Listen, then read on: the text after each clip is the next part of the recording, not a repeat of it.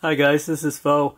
Uh, wow, I'm so excited. We have here um, Gundam uh, Sazabi. Uh, he is in an extra large um, box, basically. So this is part of the Gundam universe action figures. Uh, so Gundam is pretty much known for, um, you know, like uh, um, model kits, which uh, I do not enjoy putting together.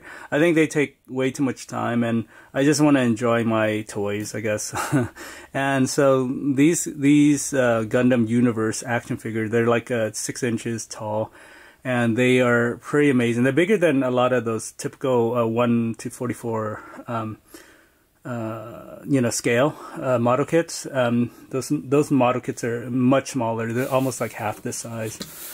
Um, so to get uh, very large, um, you know, uh, Gundam accurate-ish um, action figure uh, in this scale is uh, pretty amazing, and they're affordable. So uh, um, typically these will run you about twenty-five dollars. But what's special about this release, this number eighteen, is that it's it's a extra large box.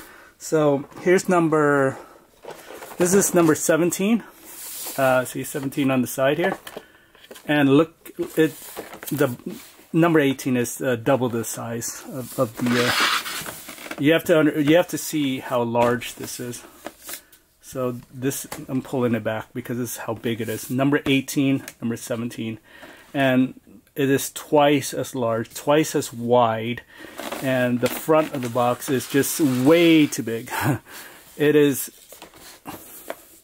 it is almost comically too big in fact, actually, I would prefer number 18 to be packaged in a way where it's a little bit smaller. um, now, the figure itself actually is pretty big. He does come with a sword as well, the sword he's holding. I just didn't take it out because I'm not going to display it with the sword. Um, but he does come with two extra hand, a closed fist hand, and then these open hand, which I've uh, replaced. And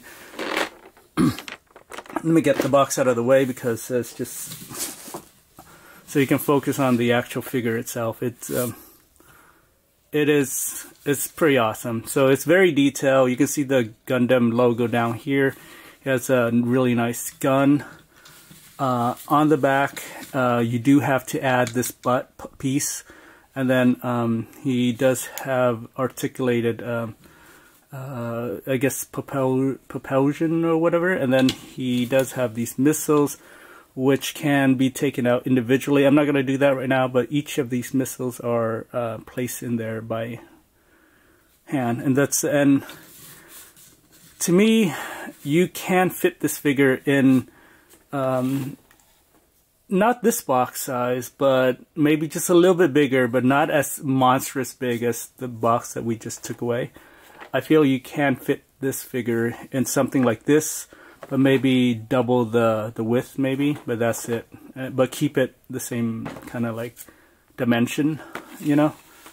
Uh, but anyway but it's big um, and it's priced accordingly uh, so these are typically $25 I think I paid $40 for for this guy um, I found them at Target, but I'm assuming uh, you're going to see it at Walmart and other retailers. Um, I only have Target and Walmart near me, so that's the only two places I can really compare to. And I don't think this guy you're gonna find in a lot of places.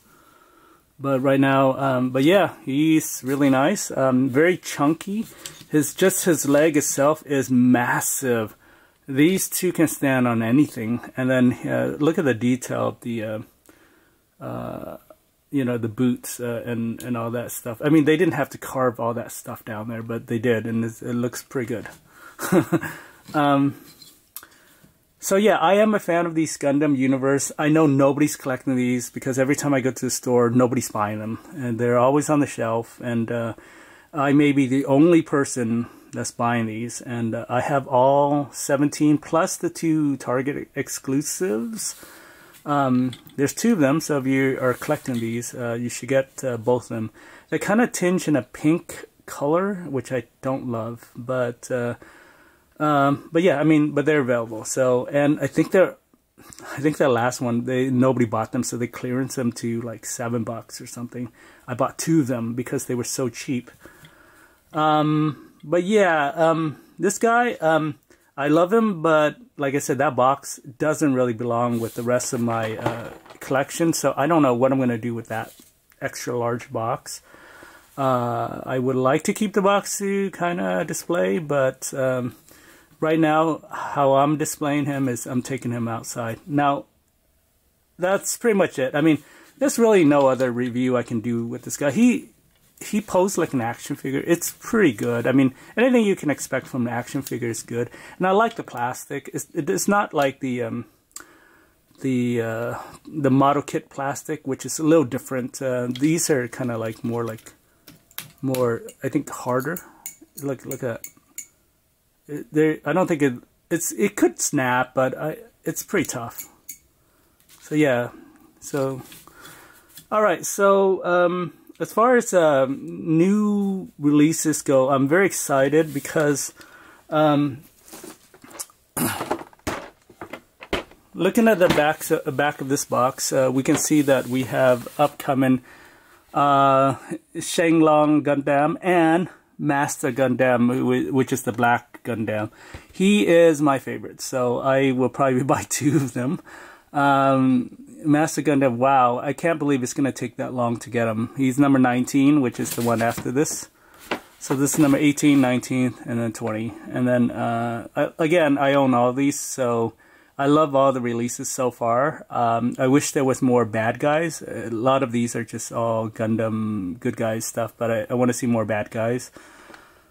Um, but yeah, Master Gundam, um, so awesome. I, I hope we get his horse his unicorn horse or whatever. And I hope he comes in a deluxe edition as well. I mean, uh, maybe, perhaps, um, perhaps uh, with with that horse, that the unicorn horse I was talking about earlier. Maybe they can package him in a um, box set. And if they charge fifty dollars, I'll buy it. right now, this forty one, forty dollars for this. Um, is it worth it? I I think if you're a Gundam fan, it's, it's fine. Um, it is you do get a lot more, but I don't know if it's significantly more than a typical twenty five dollar release. That that you know that I'm gonna say go ahead and uh, is such a value. Uh, to me, um, you're basically buying two of these. So this will be fifty dollars if you buy two of these, right? So maybe you're just saving ten dollars for a big release, but I don't know if it's worth it. I I, th I think it's cool. I think it's for the first time we're seeing something in this scale, in this larger packaging and stuff. But uh, as far as value, um, I don't know. It seems like it's just a normal release to me. He's just a lot bulkier. He, he's just probably using a lot more plastic. So that so they feel justified in charging a little more for all this extra plastic. Um, you know, but it's fine. I mean, I like I like the guy, uh, so I guess it's up to you. If if you can afford it, I think forty dollars is a reasonable price. I I actually think that twenty five dollars is actually very reasonable as well. Uh, it's not too expensive, but it's not you know uh, it's it's not cheap like those those ten dollar Gundam tiny little figures. Um, these are actually very good for display. So yeah. Um, yeah, so again, I'm gonna kind of have them out of the box, uh, and uh, I'm trying to figure out what I'm gonna do with the big box. But anyway, thanks for watching. I know this is just a dumb. Nobody's gonna watch this because uh, nobody likes these Gundam uh, universe figures. So, so I feel like nobody is, will watch this. All right, thanks for watching.